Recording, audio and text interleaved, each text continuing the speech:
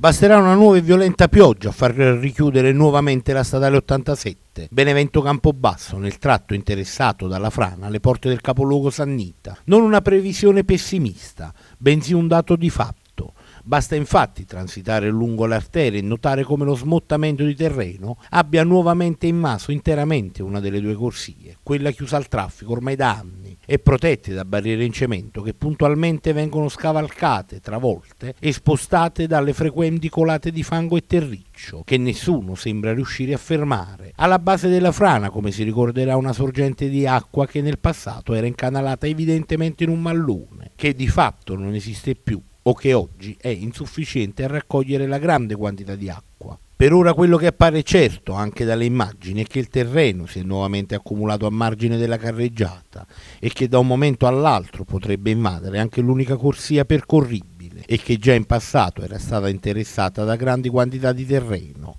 Sull'argine pericoloso sono installate telecamere e sensori dell'Università del Sannio e dell'ANAS che da tempo cercano una soluzione al problema che però non è stato mai risolto nonostante l'anno scorso tre auto fossero rimaste bloccate in un'improvvisa e pericolosissima colata di fango.